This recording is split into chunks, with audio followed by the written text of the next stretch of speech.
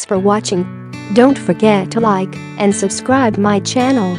Giannis Antetokounmpo may have arguably the most difficult name to pronounce among all NBA players today, but for the Chicago Bulls announcer, he found another one's name more challenging to say than the Milwaukee Bucks forwards. During halftime of the match between the Bulls and Oklahoma City Thunder on Saturday, the broadcaster wanted to give the reigning MVP a lot of credit for helping his team lead by 19 points at that point. However, he hilariously mispronounced his name, which immediately caught the attention of a lot of viewers.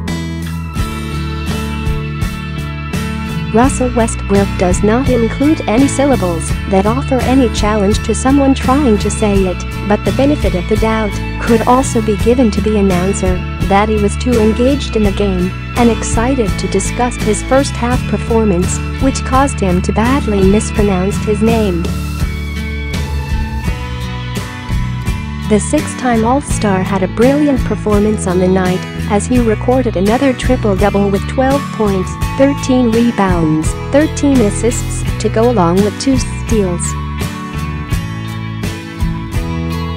More importantly, the Thunder got back to their winning ways with a 101-69 victory. The win brought them back to .500 as the team now has a 3-3 win-loss slate for the season. Thanks for watching.